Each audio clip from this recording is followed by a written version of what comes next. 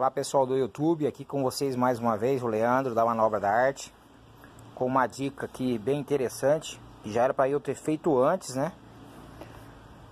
O sabre, o sabre novo da Steel vem com uma furação muito pequena Então eu tenho percebido já há muito tempo uma lubrificação deficiente Que hora que você começa, você abre a bomba para lubrificar mais ainda assim ainda é, fica faltando né? Óleo.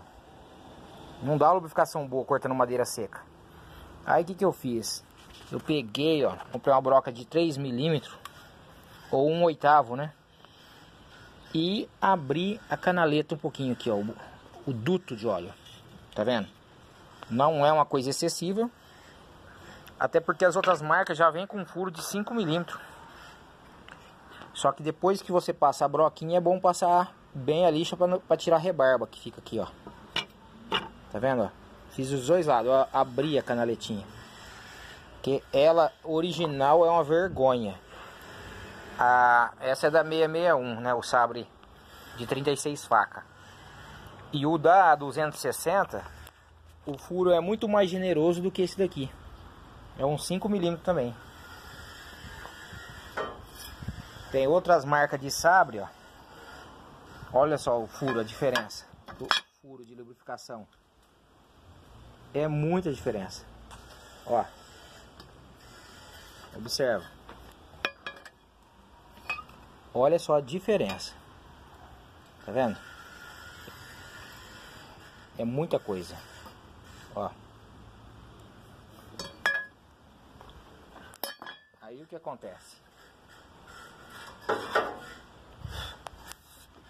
Sendo que o sabre original, olha, é um furículo, é um furículo. Então não vai aquela quantidade generosa de óleo à vontade, tranquila. Fica aquela coisa forçada, né? Tem que ficar abrindo bomba, fechando.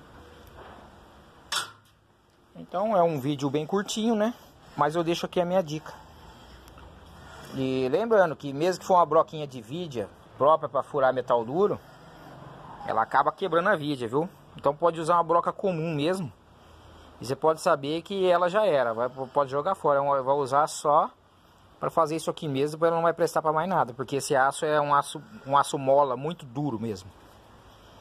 Ok, pessoal? Então eu deixo aqui a dica. Ok? Beleza, né?